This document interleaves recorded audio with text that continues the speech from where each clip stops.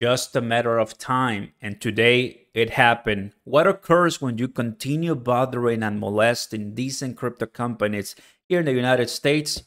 They leave. Even though they haven't left the US, Coinbase has now launched breaking news an international exchange and they've been getting praised by the leaders in the crypto industry and let me tell you what is going on on top of that they're now getting more lawsuits and more legal confrontation from the United States government. I don't really want them to leave the US. They're a big player here for all of us. But why are our legislators and lawmakers not understanding that crypto is the next big thing? Because they really want to continue the traditional banking system. They're trying to bail out their friends, and that's not what the community wants. Let me tell you the full story. Don't forget to smash the like button, everybody, and welcome aboard. International Exchange today launched Coinbase this is something big, right? And I'm sure that it was already on their head doing this, not necessarily because of all the lawsuits coming from the, the United States, but this speed up the transition to launch this awesome product that now it's out.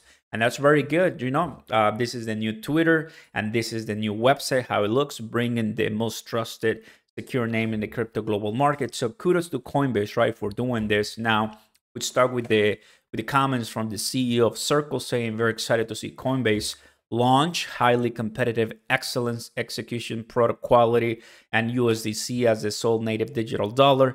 Obviously, he's behind USDC, and when USDC was depegging, he immediately came out. Everything went fine. So, used for funding, collateral trading. Congrats, Brian Armstrong. And we know Brian, the CEO, has been on the face forefront of the lines when it comes to defending the crypto community. Everybody, a leader, definitely a leader in this space here in the United States, defending us. Now we have Tyler Winklevoss, CEO of Gemini, saying, "Great news. He's a competitor, but I mean they know each other. Crypto's global. Important. We'll learn that. Congrats." He's saying that because even though if you ban it, stop it, want to regulate it all the way to the moon, I mean, doesn't even matter. I mean, we leave the US and then we go ahead and do business elsewhere where they open the doors.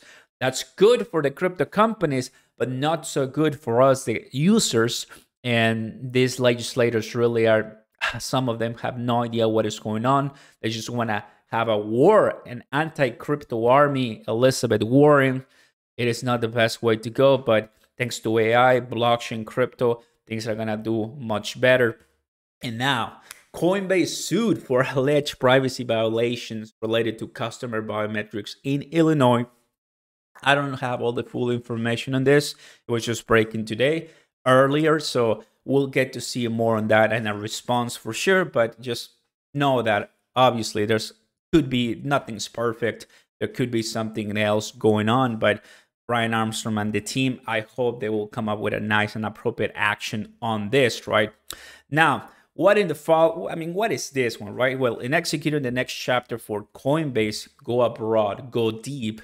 Coinbase International and Exchange brings the safest, most trusted name in crypto to the global derivatives market. So this is gonna be derivatives, going long, going short, and all that kind of thing.